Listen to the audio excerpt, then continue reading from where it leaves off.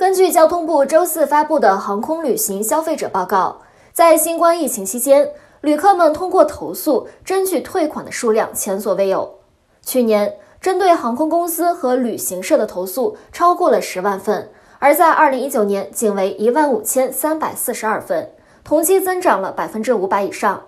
交通部表示，近百分之九十的投诉涉及退款。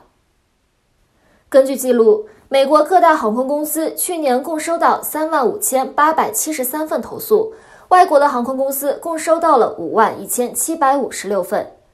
交通部表示，该机构的航空消费者保护办公室已经与收到大量退款投诉的公司进行了谈话。去年全年对航空公司的投诉中有近三分之一是针对美联航的。美联航在疫情初期对于退款的规定非常严格。美联航共收到一万一千两百七十四份投诉，其中超过一万份与退款相关。美国航空的投诉量位居第二位，但仅为美联航的一半。在主要的航空公司中，西南航空的投诉率最低，为每十万人中有二点六四个投诉，但是高于二零一九年的零点三三。